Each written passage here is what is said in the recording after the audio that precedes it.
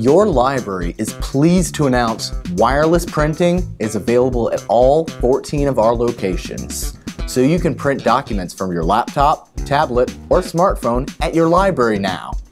Or you can even send them to your nearby public library from the comfort of your own home. How does it work, you ask? From any laptop, tablet, smartphone, or other magical device, head over to printeron.com once you're there, click on Find a Public Printing Location, head through the locations until you find your favorite branch, then upload the file or give them a web address of what you want to print and your email address. Pick it up with your email address at your local library location.